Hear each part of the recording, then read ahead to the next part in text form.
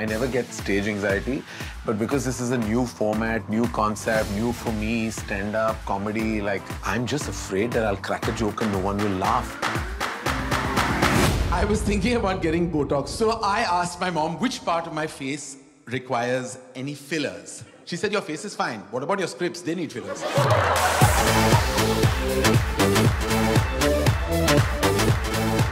Writer ऐसे कुछ करता नहीं है ना।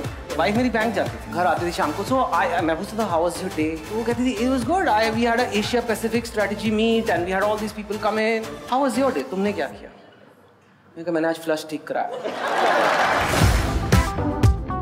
Used to a retake if I mess something up. There's no retake here. It's just go.